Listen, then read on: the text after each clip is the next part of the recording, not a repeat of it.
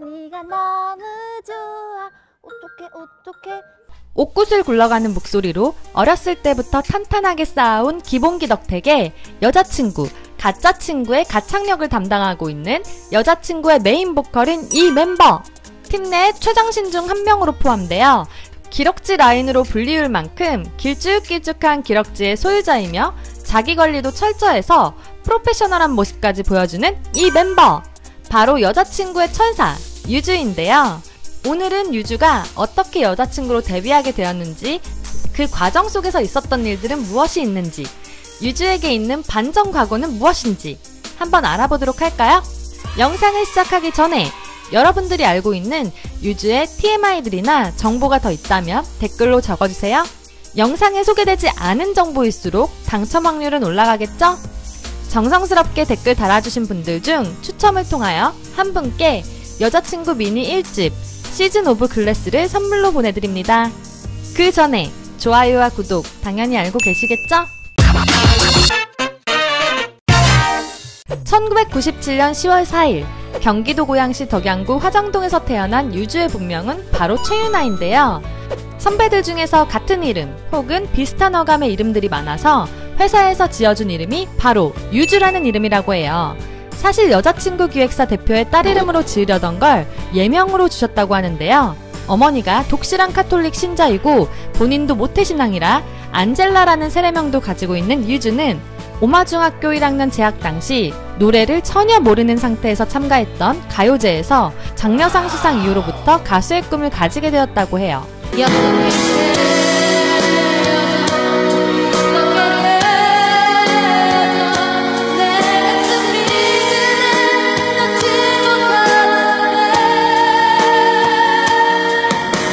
그래서일까요?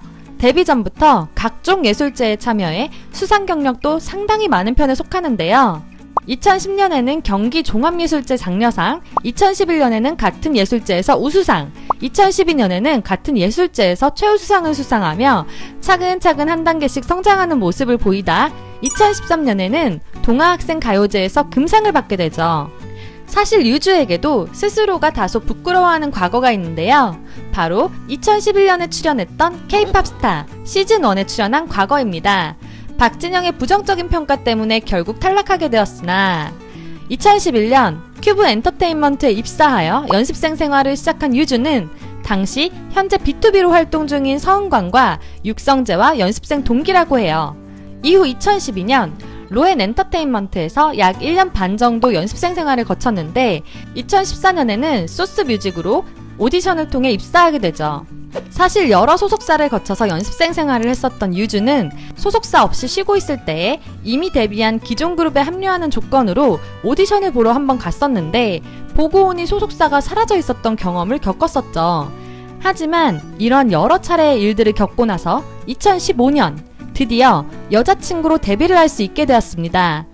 꼴성대라는 별명을 가지고 있는 만큼 걸그룹 가창력 순위하면 늘 빠지지 않고 나오는 게 유주인데요.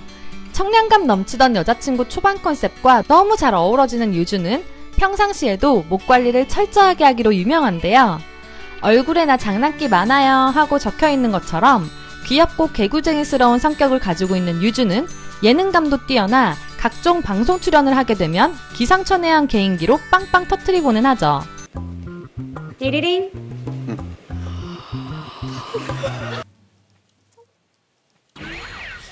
사람 발로 세상을 평정해 주지. 오, 나 이렇게 뽑을까 말까 뽑을까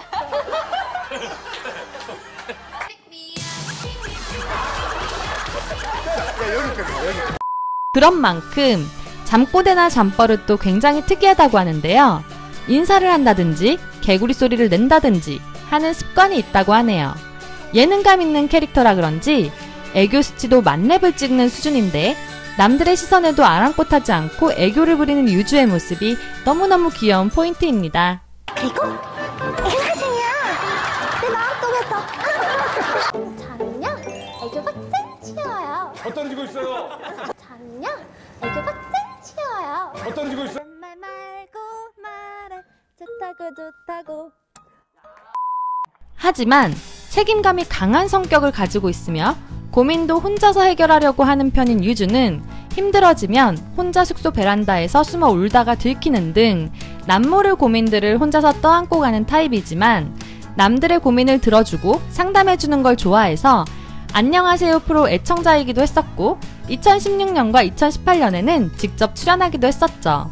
워낙 언변과 어휘력이 좋아서 예쁜 말을 잘하기로 유명한 유주는 특히 팬들에게 예쁜 말을 많이 해주기로 소문이 났으며 팬 이름을 외워서 불러주는 것은 기본이고 얼굴에 큰 점이 있어서 부끄럽다는 한 팬의 위버스 게시글에 신께서 얼굴을 열심히 빚고 나서 이쯤이면 완벽하다 싶어서 마침표까지 같이 찍어주셨나 보다 분명 아름다울 거야 라는 어록을 남기기도 했었죠.